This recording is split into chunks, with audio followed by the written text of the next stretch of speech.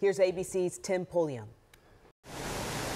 Despite heavy rain, flooding, and powerful winds, Southern California avoiding the brunt of Hilary's harm. The fact that it wasn't the catastrophe that had been anticipated, we are very happy about. With the storm now downgraded and headed north, Los Angeles leaders still warning residents to be careful. During the height of the storm, officials estimate more than 41,000 people were without power. Crews responding to more than 1,800 emergencies and nearly 100 traffic accidents in LA County. This video shows a road collapsing as vehicles drive by.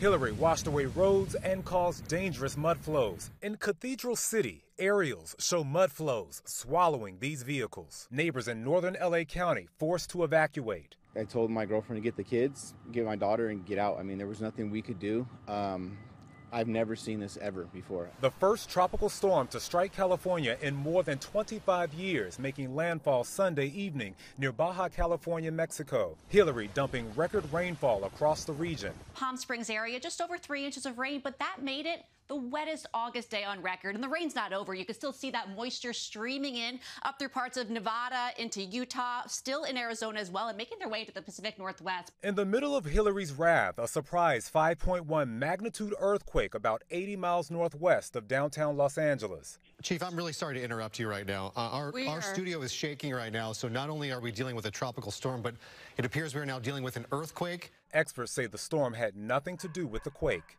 Here in Southern California, there was no significant damage or injuries from the earthquake or the storm. In Los Angeles, the second largest school district in the nation will reopen on Tuesday. Tim Pulliam, ABC News, Los Angeles.